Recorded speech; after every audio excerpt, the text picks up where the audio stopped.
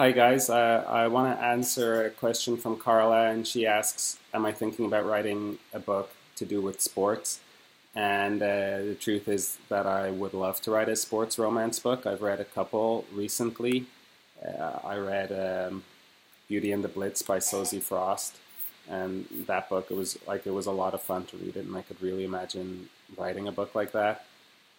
And uh, so yeah, I would love to. I mean, it's hard to get to everything that you want to do, but I would love to write a sports romance uh, in the near future.